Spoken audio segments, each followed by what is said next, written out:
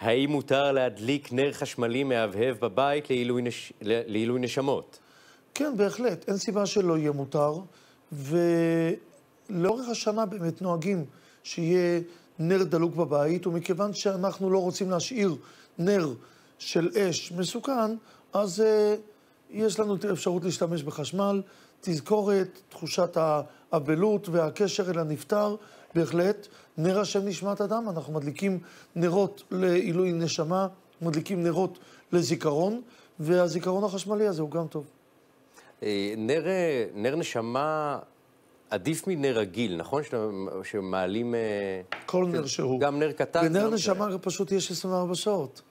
הבנתי. ולכן הוא תועלתי, לכן פרקטי. כן. יש היום נרות של שבוע. Mm-hmm. של לאבלים שיכולים לשבוע, אבל אין הבדל.